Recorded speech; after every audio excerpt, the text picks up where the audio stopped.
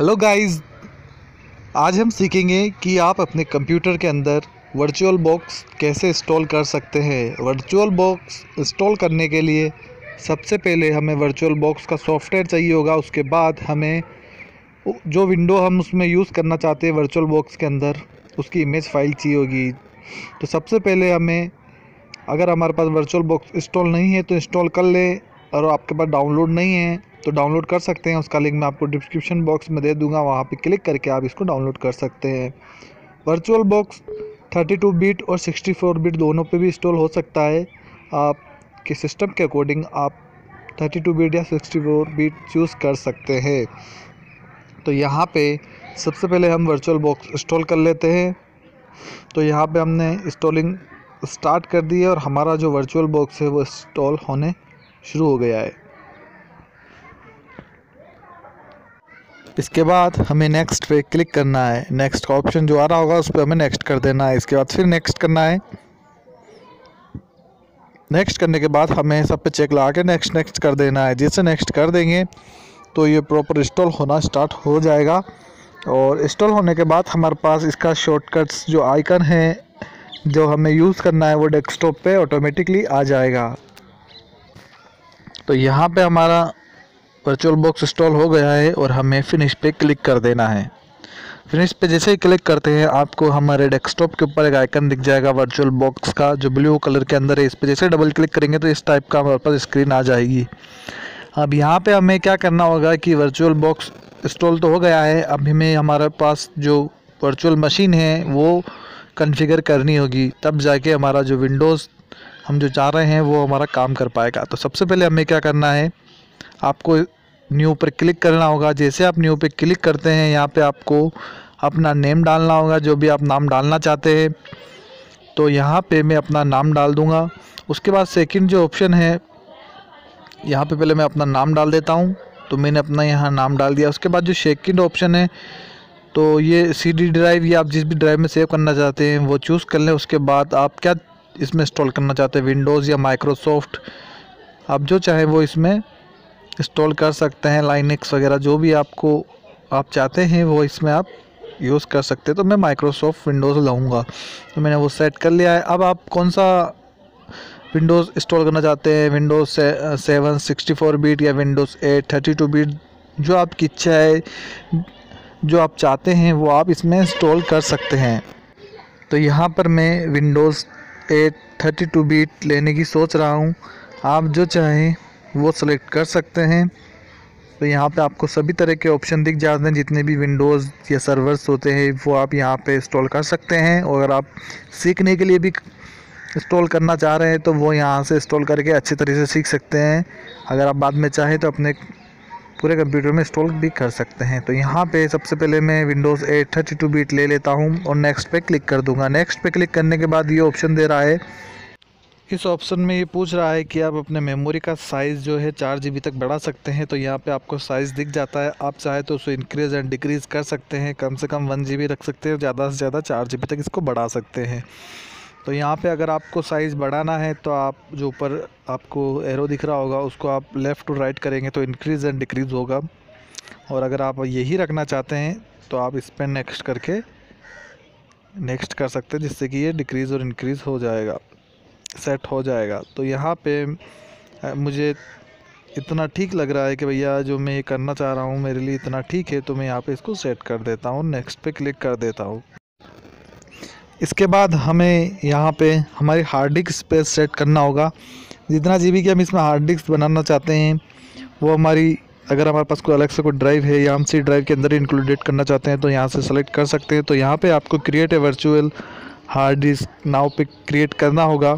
तो यहाँ पे मैं क्रिएट नाउ पे क्लिक कर देता हूँ। उसके बाद यहाँ पे आपको हार्ड डिस्क फ़ाइल टाइप पे सेलेक्ट करना होगा। तो मैं पे, मुझे यहाँ पे VDI यानी कि वर्चुअल डिस्क इमेज चाहिए। तो मैं वो सेलेक्ट करके यहाँ पे नेक्स्ट पे क्लिक कर दूँगा। नेक्स्ट पे क्लिक करने के बाद यहाँ storage and physical hard disk set करना होता है। तो मैं डायनामिक डायनामिकली सेंड करूँगा। तो यहाँ पे इसको नेक्स्ट कर दूँगा। उसके बाद फ़ाइल लोकेशन साइज़ पूछ रहा है। भैया कितनी साइज़ होने वाली है? तो यहाँ पे मैं ये चालीस जीबी के ही रहने दूँगा। तो इसके बाद यहाँ पे अगर आप चाहें तो इसको इंक्रीज़ एंड डिक्रीज़ कर सकते हैं। तो मेरे को इतना ठीक लग रहा है कि भैया इतनी ठीक है। तो मैं इसको इस हिसाब से ही सेट रहने दूँगा और क्रिएट पे क्लिक कर दूँगा। जैसे हम क्रिएट पे क्लिक करेंगे, ये क्रिएट हो जाएगी। तो क्रिएट पे क्लिक करके मैं देखता हूँ। उसके बाद ये क्रिएट हो गई है। अब हमें क्या करना होगा? कि भैया हमारा जो बेसिक कॉन्फ़िगरेशन था वो तो कंप्लीट हो गया बट अब हमें जो विंडो इंस्टॉल करनी है, जो हमने चूज़ की है, उसके अकॉर्डिंग हमें वो विंडो का इमेज पाथ यहाँ पे देना होगा, तब जाके हमारे विंडोज़ इसके अंदर वर्चुअल बुक्स के अंदर इंस्टॉल होगी। तो सबसे पहले हमें उसके लिए क्या करना होगा, आपको इसकी सेटिंग में जाना होगा। तो सामने आपको एक ऑरेंज कलर का सेटिंग का ऑप्शन दिख रहा होगा, उस पर आपको क्लिक करना होगा या आप इस पर राइट क्लिक करके सेटिंग में जा सकते हैं। तो यहाँ पर मैं इस तरह से सेटिंग में जाऊँगा। जैसे इस पर क्लिक करूँगा सेटिंग पे तो यहाँ पे इस तरह का ऑप्शन खुलेगा। उसके बाद चौथे नंबर पे एक स्टोरेज का ऑप्शन दिख रहा होगा आपको। वहाँ पे स्टोरेज स्टोरेज पे क्लिक करूँगा। तो जैसे स्टोरेज पे क्लिक करता हूँ तो मेरे को यहाँ पे तीन ऑप्शन दिख रहे हैं तो एम पे क्लिक कर दूँगा मैं। जैसे एम पे क्लिक कर दूँगा राइट साइड में मेरे को एक सीडी का आइकन दिख रहा होगा, या फिर आप यहाँ से भी अटैच कर सकते हैं रिमूवल अटैचमेंट अगर आप अलग से अटैच करना चाहते हैं तो आपको एक ब्लू कलर का एक ऑप्शन दिख रहा होगा। जिसमें सी डी इमेज बनी हुई है। तो उस पर क्लिक करके आप अपनी इमेज फ़ाइल का पाथ दे सकते हैं, जहाँ पे भी वो इमेज पड़ी हो सी ड्राइव में ई ड्राइव में या डी ड्राइव में, उसको सेलेक्ट कर सकते हैं। तो अब मैं आपको सेलेक्ट करके दिखा देता हूँ कि किस तरीके से आप उसको सेलेक्ट कर सकते हैं। जैसे हम इमेज उस सीडी के ऊपर क्लिक करेंगे, यहाँ पे हमें choose a virtual optic disk का ऑप्शन आ रहा होगा, उस पर आपको क्लिक करना होगा। तो जैसे आप इस पर क्लिक करेंगे, ये डायरेक्ट करेगा अपने उस लोकेशन पे जहाँ पे आपको, जहाँ से आपको अपनी इमेज फ़ाइल चूज़ करनी है। तो यहाँ से आप, जहाँ आपकी इमेज फ़ाइल पड़ी है, वहाँ से उसको सेलेक्ट करा दे। तो मेरी इमेज फ़ाइल भैया यहाँ पड़ी है। हम इस पर जैसे डबल क्लिक करता हूँ या ओपन पे क्लिक करता हूँ, या इस तरह से ओपन हो जाती है। उसके बाद मुझे यहाँ करना होगा ओके जैसे मैं ओके क्लिक करता हूँ तो इस टाइप से ही मुझे दिख जाती है। उसके बाद यहाँ पर ग्रीन कलर का स्टार्ट का ऑप्शन दिख रहा होगा, उस पर क्लिक कर दे। क्लिक करने के बाद एक या दो मिनट का टाइम लगेगा और ये थोड़ी सी प्रोसेसिंग करेगा और हो सकता है सिस्टम के अकॉर्डिंग कम या ज़्यादा टाइम लगा सकता है। उसके बाद यहाँ पे इस तरह का डायलॉग बॉक्स आएगा और थोड़ी सी प्रोसेसिंग होती है। हंड्रेड परसेंट प्रोसेसिंग होने के बाद इस तरह का आपके सामने बूट का ऑप्शन आ जाता है विंडोज़ एट का। नेक्स्ट पे क्लिक करें नेक्स्ट पे क्लिक करने के बाद इंस्टॉल नाउ करें। अब आपको आगे तो पता ही होगा किस तरीके से हम विंडोज़ इंस्टॉल करते हैं। तो मैं आपको कंटिन्यू बता देता हूँ, इसमें एक छोटी सी प्रॉब्लम ये आती है कि जब ये सेटअप स्टार्ट होता है तो वर्चुअल मशीन चलते चलते पुश हो जाती है, यानी कि चलते चलते वर्चुअल मशीन रुक जाती है। तो उसको हम कैसे ठीक करें? तो यहाँ पे जब रुकेगी तब मैं वो बताऊँगा। तो यहाँ पे हमको सिंपली डालना है, इसका जो रजिस्टर की है, यानी कि इसमें एक्टिवेशन की है, वो डालनी है तो आप कोई भी फेक की डाल सकते हैं। मेरे पास कोई अलग से की नहीं पड़ी है तो मैंने यहाँ पे इंटरनेट पे सर्च करके वो की डाल देता हूँ। तो यहाँ पे आप कोई सी भी की इंटरनेट पे देख के डाल सकते हैं। अगर आपको नहीं मिली तो मैं ये वाली की जो मैंने इसमें डाली है, वो मैं आपको डिस्क्रिप्शन में दे दूँगा। अगर आपको कोई प्रॉब्लम आती है तो वो भी एक बार आप ट्राई कर लें। हो सकता है वो आपके इसमें काम कर जाए। तो इसके बाद जैसे आप की डाल दें तो आप जैसे नेक्स्ट पे क्लिक करेंगे तो ये एक्टिवेट ले लेगा। उसके बाद ये प्रोसेस नेक्स्ट प्रोसेस पे चला जाएगा। तो यहाँ पे हमने नेक्स्ट पे क्लिक करा है। इसके बाद यहाँ पे चेक मार्क लगाना है और नेक्स्ट पे क्लिक कर देना है। इसके बाद यहाँ पे कस्टम इंस्टॉल पे क्लिक करना है। उसके बाद यहाँ पे न्यू पार्टीशन क्रिएट करना है, जो हमने साइज़ दिया था। हमने यहाँ पे तालीस जी का लिया था तो हमसे साइज़ ले रहा है। उसके बाद उसको फॉर्मेट करके इंस्टॉल पे क्लिक कर देना। है अब यहाँ पे हम इसे नेक्स्ट पे जैसे ही क्लिक करते हैं, हमारा विंडोज़ इंस्टॉलेशन मोड ऑन हो जाता है। तो यहाँ पे हमारा विंडोज़ इंस्टॉलेशन मोड ऑन हो गया है और कुछ परसेंटेज भी स्टार्ट हो गई है। ज़ीरो परसेंट हमारा अभी हुआ है। तो अगर दोस्तों, अगर आपके जैसे ये अभी मेरे तो अभी हो नहीं रहा है। जैसे ही होगा, मैं बता दूँगा। अगर इसमें क्या होता है कि ये विंडोज़ चलते चलते पुश हो जाती है, यानी कि रुक जाती है। तो यहाँ पे आप मशीन पे जाके उसको पुश और डिसेबल कर सकते हैं। तो दोस्तों, यहाँ पे हमारी जो विंडो इंस्टॉलेशन स्टार्ट हो गई है और यहाँ पे कुछ टाइम लेता है ये विंडोज़ इंस्टॉलेशन पूरा उतना ही टाइम लेता है जितना हम बेसिकली कोई कंप्यूटर फॉर्मेट करते हैं पूरा। तब जब वो टाइम लेता है वही का वही टाइम यहाँ पे हमारी ये वर्चुअल बॉक्स लेगा। उसके बाद यहाँ पे अगर हमारे पास कोई ऑप्शन या प्रॉब्लम आ जाती है, इस टाइप की एरर तो हमें कुछ नहीं करना है। आपको सिंपली आपको do not show the message again इस नाम का एक एरर दिख रहा होगा, उस पर आपको चेक लगाना है और ओके पे क्लिक कर देना है। तो यहाँ पे मैंने चेक लगा दिया है और उसके बाद मैं ओके पे क्लिक कर देता हूँ। अब जो हमारा विंडोज़ इंस्टॉलेशन मोड था, वो चलते चलते रुक गया है बिकॉज़ पुश हो गया है। उस मैसेज के कारण तो यहाँ पे हमें ये ऑप्शन दिखाई दे रहा है। हमें कुछ नहीं करना है, उसको वापस रीस्टार्ट करने के लिए यहाँ पे आपको एक मशीन नाम का एक ऑप्शन दिख रहा होगा सेकंड फ़ाइल के आगे। उस पर आप जैसे क्लिक करेंगे तो हमारी जो विंडोज़ रुक गई है इंस्टॉलेशन स्टार्ट होते हुए वापस रिस्ट कंटिन्यू हो जाएगी। तो यहाँ पे रिकंटिन्यू करने के लिए पुश पे क्लिक करूँगा तो रिकंटिन्यू हो गई है। तो इस तरीके से वापस आप इसको रिकंटिन्यू कर सकते हैं और उसके बाद आपके जो सिस्टम का टाइमिंग है, यानी कि जो आपको सिस्टम की कन्फिग्रेशन के अकॉर्डिंग आपका विंडोज़ जल्दी जल्दी इंस्टॉल होना स्टार्ट हो जाएगा। तो यहाँ पे हमारा जो कंप्यूटर है वो इस तरीके से स्टार्ट हो गया है और आठ परसेंट हो गया है यहाँ पे। तो थोड़े टाइम के बाद आपका जो कंप्यूटर है, पूरी तरीके से इंस्टॉल हो जाएगा। तो यहाँ पे आपको बेसिकली थोड़ा वेट करना होगा।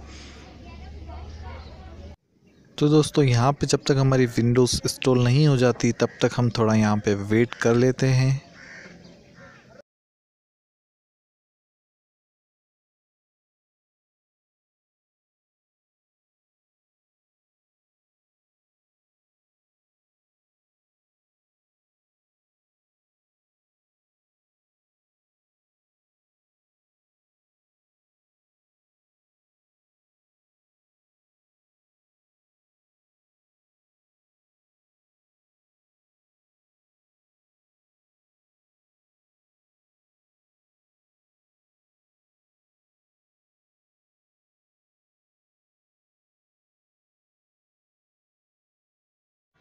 तो दोस्तों, यहाँ पे इस तरीके से इंस्टॉलेशन कंप्लीट हो जाता है और हमारा जो कंप्यूटर है वो दोबारा रिस्टार्ट हो जाएगा और रिस्टार्ट होने के बाद जिस तरह के जब हमारा कंप्यूटर रिस्टार्ट होता है तो हमें मदरबोर्ड का नाम बताता है। उस तरीके से यहाँ पे ये वर्चुअल बॉक्स का नाम बताएगा जो आपने इंस्टॉल कर रखा है। उसके बाद यहाँ पे हमारा जो विंडो इंस्टॉल हुआ है, वो रेडी होना स्टार्ट हो जाएगा। यानी कि आपका सेवन होगा तो सेवन स्टार्ट होगा। अगर आपका एट आपने इंस्टॉल किया तो एट रेडी होगा। जो इंस्टॉलेशन अभी कंप्लीट हुआ था अपडेट्स जो इसने लिए थे, वो एक बार वापस रीचेकिंग करेगा और उसको दोबारा डिवाइस रेडी करेगा। यानी कि 100 परसेंट डिवाइस रेडी होने के बाद ये ले जाता है हमें कुछ बेसिक सेटिंग पर जो हमें अप्लाई करनी होती है हमारे कंप्यूटर के अंदर। तो यहाँ पे हमारा जो कंप्यूटर है वो हो गया है और दोबारा रिस्टार्ट हो गया है। अब ये हमें डायरेक्ट इसकी बेसिक सेटिंग के ऊपर रिडायरेक्ट करेगा। तो यहाँ पे रिडायरेक्ट करता है हमारे इस सिस्टम पे और यहाँ पे हमें इसमें हमारा पीसी का नाम सेट करना होता है। आप चाहें तो कुछ भी नाम दे सकते हैं। आपको जो सेटिंग चाहिए येस और नो कर सकते हैं।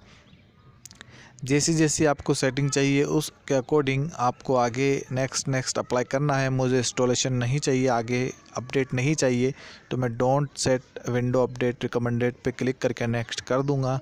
उसके बाद यहाँ पे नेक्स्ट नेक्स्ट क्लिक करता रहूँगा और थोड़ा सा इसमें माइक्रो सेकंड का टाइम लेता है और हमारा जो विंडोज़ अकाउंट है वो सेट होता है। तो यहाँ पे इस तरीके से आपका विंडोज़ अकाउंट सेट होता है। अगर आप चाहें, अगर आपका माइक्रोसॉफ्ट अकाउंट बना हुआ है तो आप अपना माइक्रोसॉफ्ट अकाउंट का यूज़र नेम एंड पासवर्ड डाल सकते हैं। माइक्रोसॉफ्ट अकाउंट का U ID password same Gmail ID और पासवर्ड के अकॉर्डिंग ही होता है। बस हमें उससे वेरीफाई करना होता है। जीमेल अकाउंट को माइक्रोसॉफ्ट अकाउंट से। तो यहाँ पे हमारा जो सेटअप कम्प्लीटली इंस्टॉल हो गया है। अब थोड़ा सा वेट कर लेते हैं डेस्कटॉप आने के लिए। तो यहाँ पे जैसा कि मैंने आपको बताया था कि विंडोज़ 8 या 10 आप इंस्टॉल करते हैं तो यहाँ पे हमें माइक्रोसॉफ्ट अकाउंट का आईडी और पासवर्ड देना होता है। तो मेरा तो माइक्रोसॉफ्ट अकाउंट बना हुआ है तो मैं यहाँ जिस ईमेल आईडी से बना हुआ है तो वो ईमेल आईडी डाल देता हूँ। अगर आपका माइक्रोसॉफ्ट अकाउंट नहीं बना हुआ है तो आप माइक्रोसॉफ्ट अकाउंट बना लें और वो ईमेल आईडी पासवर्ड यहाँ डालें। बिकॉज़ उसके बगैर थोड़ी प्रॉब्लम होगी। अगर आप माइक्रोसॉफ्ट अकाउंट नहीं बनाएँगे तो आपका जो प्रोसेस है वो यहीं रुक जाएगा। तो आप माइक्रोसॉफ्ट अकाउंट का आईडी पासवर्ड यहाँ डाल दें। मेरे पास बना हुआ है। तो मैंने ईमेल आईडी डाल दी है। अब उसके बाद मैं डाल देता हूँ यहाँ पे पासवर्ड पासवर्ड डालने के बाद मैं यहाँ पे नेक्स्ट पे क्लिक कर दूँगा और हमारा जो प्रोसेस है वो आगे बढ़ जाएगा। उसके बाद अगर आप माइक्रोसॉफ्ट अकाउंट डाल रहे हैं फ़र्स्ट बार आप इसमें अपने इंस्टॉलेशन में तो हो सकता है आपसे स्टेप टू स्टेप वेरिफिकेशन भी ले ले तो आपके पास यहाँ पे आपको अपना मोबाइल का लास्ट डिजिट नंबर डालना होगा, जिससे कि ये वेरीफाई कर सके कि भैया हमारा जो नंबर आपने डाला है, वो वेरीफाई है या नहीं तो ये वेरीफाई करेगा। आपके पास उसका एक ओटीपी आता है और वो ओ आपको यहाँ डालना होता है। ओटीपी जैसे डालेंगे, तब जाके ये रिडायरेक्ट करता है आपको इसके अकाउंट पे और तब उसके माइक्रो सेकंड का एक प्रोसेस होता है, उसके बाद आपका जो डेस्कटॉप है वो आ जाता है। तो यहाँ पे ये बेसिकली सेटिंग में इसलिए बता रहा हूँ कि अगर आप विंडोज़ इंस्टॉल करते हैं विंडोज़ एट या टेन तो अगर आप ये बेसिक सेटिंग नहीं करेंगे तो आपका जो इंस्टॉलेशन है वो उसका कोई फ़ायदा नहीं रहता बिकॉज़ जो सेटिंग है वही इंपॉर्टेंट है। अगर वो अच्छे से नहीं हो तो आपका जो इंस्टॉलेशन है वो भी अच्छे से नहीं हो पाएगा और आपको काफ़ी प्रॉब्लम आएगी। तो ये जो सेटिंग है, हमें विंडोज़ इंस्टॉल करते टाइम ही कर लेनी चाहिए। उससे ये फ़ायदा होता है कि हम जब हमारे विंडोज़ को एक्सेस करते हैं, उसमें कोई काम करते हैं तो आगे चल के हमें कोई प्रॉब्लम्स नहीं आती है और हमारा जो प्रॉपर सेटिंग है, वो हमारा अभी इंस्टॉलेशन टाइम में ही हो जाता है। तो ये हमारा जो सेटअप है, वो प्रॉपर स्टार्ट हो गया है और कुछ टाइम ले रहा है अकाउंट क्रिएट करने के लिए। हमें डेस्कटॉप की तरफ़ ले जाने के लिए तो थोड़ा सा टाइम ले सकता है यहाँ पे। हम थोड़ा वेट कर लेते हैं और उसके बाद हमारे पास ये कंप्यूटर रिस्टार्ट हो गया है। तो यहाँ पे हमें विंडोज़ स्टार्ट हो गई है और हाई का पॉपअप आया है। यानी कि जो सेटिंग है वो इंस्टॉल हो रही है। जो हमने सेटिंग सेट करी है वो उसके अपडेट्स ले रहा है और उसके जो ड्राइवर हैं वो इंस्टॉल हो रहे हैं और हमारा कुछ ही सेकंड के अंदर हमारा जो सिस्टम है वो रेडी हो जाएगा। तो हमें यहाँ पे थोड़ा सा वेट करना होगा। तब तक कि मैं कर देता हूँ थोड़ा सा वीडियो को स्कीप तो दोस्तों, इस तरीके से आप अपने कंप्यूटर में वर्चुअल बॉक्स क्रिएट करके उसमें अलग से विंडो इंस्टॉल कर सकते हैं, यानी कि एक ही कंप्यूटर में दो दो विंडोज़ इंस्टॉल कर सकते हैं, वो भी एक साथ। उसके बाद आप अगर चाहें कि हमारा डेस्कटॉप के आइकन लाना है तो राइट क्लिक करके पर्सनलाइज में जाके चेंज डेस्कटॉप आइकन पे चेक करके हम वो वो डेस्कटॉप पे लाना चाहते हैं, उस पर चेक लगा लीजिए, उसके बाद अप्लाई डॉक पे क्लिक कर दीजिए। जैसे क्लिक करेंगे, आपके सामने डेस्कटॉप आइकन्स आ जाएँगे। तो दोस्तों, इस तरीके से आप अपने कंप्यूटर के अंदर डेस्कटॉप आइकन ला सकते हैं और अपना विंडोज़ इंस्टॉल कर सकते हैं। तो दोस्तों, वीडियो कैसा लगा आप हमें ज़रूर बताएँ। वीडियो अच्छा लगा तो लाइक करें, कमेंट करें और अभी तक आपने हमारा चैनल सब्सक्राइब नहीं किया तो सब्सक्राइब भी करें बिकॉज़ इसी तरह का टेक्निकल वीडियोस हम हमेशा लाते रहते हैं। तो अभी तक के लिए इतना ही। मिलते हैं फिर नेक्स्ट वीडियो में। तब तक के लिए खुदा हाफिज़ एंड बाय बाय